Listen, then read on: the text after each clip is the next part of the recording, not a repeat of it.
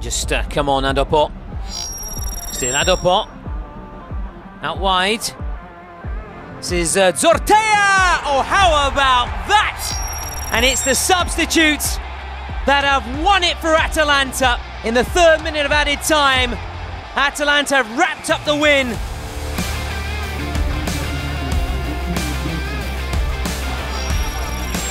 Politano seeking out Di Lorenzo. It's like a runaway train once he gets going. Di Lorenzo. Osimhen!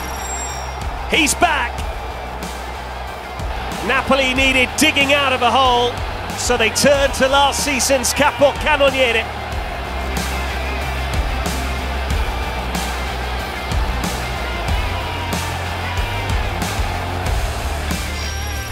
Almqvist, Baschirotto ahead of him. Gallo, prime position for the cross, pulls it back. Almqvist! Nothing less than Lecce deserve. And the Swedish swinger swings in the equaliser.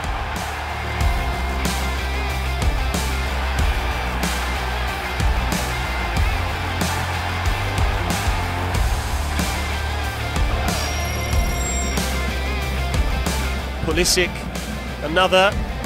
Here is Pulisic! Brilliant! Absolutely brilliant on his debut. The American star shining so brightly for Milan. Christian Pulisic involved in the first goal. He scores the second, and it was all his own work.